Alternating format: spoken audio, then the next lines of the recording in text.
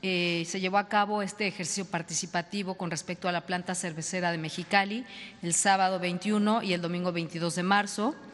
Eh, se instalaron 27 mesas de votación.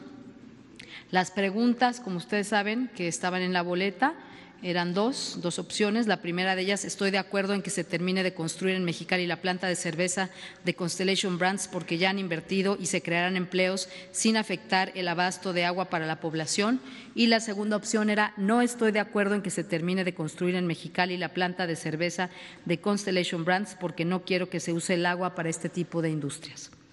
El día sábado se emitieron un total de 17.095 votos de los cuales el 29.9%, es decir, 5.108 votos, estaban de acuerdo en que se terminara de construir y el 69.2% del sábado, que corresponde a 11.832 votos, no estaba de acuerdo en que se termine de construir esta planta.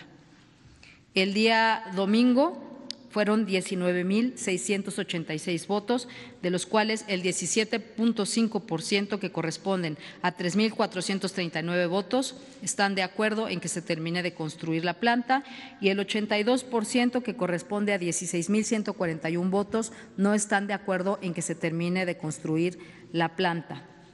En ambos días tuvimos un, el sábado 0.9% de votos nulos, que fueron 155, y el domingo el 0.5% que corresponde a 106 votos.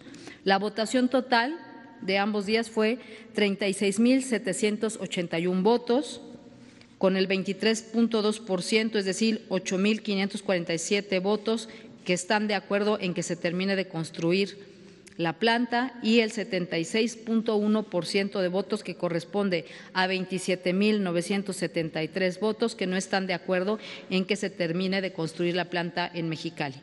Eh, durante las jornadas hubieron algunas incidencias. El sábado se, dos casillas cerraron un poco antes, pero esto no obstruyó que la gente siguiera votando en otros eh, módulos. Con respecto a estos resultados, eh, como consecuencia, la Conagua ya no dará eh, los permisos correspondientes que estaban pendientes para la operación de la planta.